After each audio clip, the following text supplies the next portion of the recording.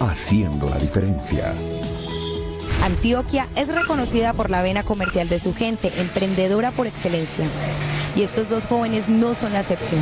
Diego y Frank, conscientes del potencial de la producción campesina de panela, le ponen el alma a ayudar a centenares de familias del municipio de Girardota que estaban a punto de cerrar sus trapiches por la baja comercialización del producto. Ya con ellos ya trabajamos muy bueno porque ya, ya la, la miel tiene muy buen precio.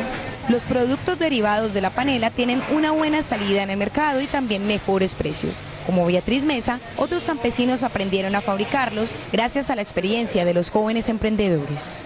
Desarrollamos mieles vírgenes de caña, trabajamos con aromáticas saborizadas, aromáticas de panela. Pensamos que la mejor forma de construir país era apoyar el campo y evitar que las comunidades campesinas por falta de oportunidades llegaran a engrosar las filas de miseria de las ciudades.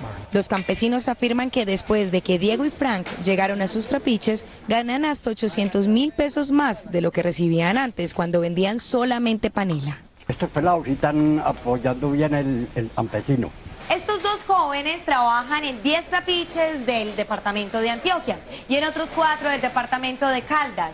Ayudan a más de 100 familias campesinas y en estos momentos están exportando sus conocimientos a campesinos de México y Ecuador.